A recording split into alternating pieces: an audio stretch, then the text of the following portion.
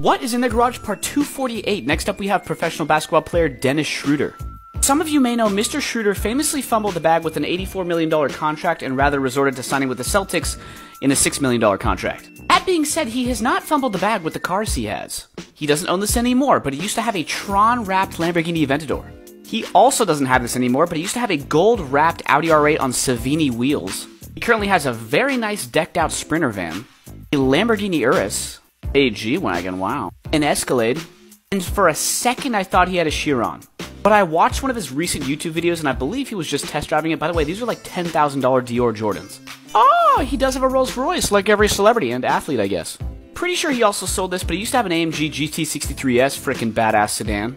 And I'm pretty sure he sold this too, but he used to have an all black Lamborghini Aventador S. Whose garage do you want to see next?